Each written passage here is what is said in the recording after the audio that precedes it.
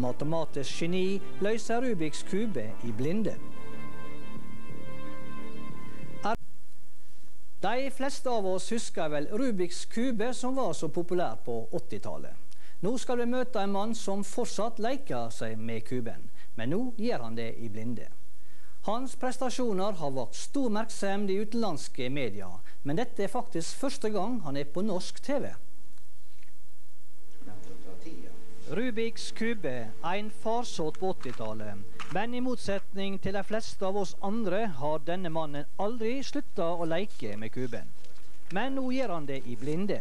En prestasjon som er i ferd med å plassere han i Guinness rekordbok. På et eller annet tidspunkt så gikk det ikke fortere. Da kom jeg på ideen at jeg skulle gjøre den blind, i blinde. Altså, jeg har alltid vært flink i matematikk, f.eks. Og eh, det, å løse kuben blind, og i hvert fall lage systemet system for det, det, det, det har med matematikk å gjøre. Før han starter prosessen med å løse kuben, går han inn i en sterk konsentrasjon.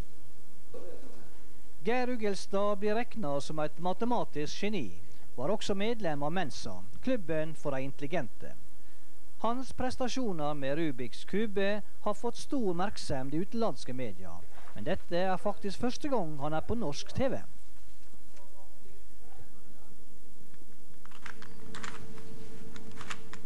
Med kamera som stressfaktor brukte han denne gangen 8 minutter og 15 sekunder på å løse kuben. Men rekorden er på under 7 minutter. Og snart skal han delta i et TV-show i Sverige der han skal løse hele tre kuber samtidig. Og fortsatt i blinde.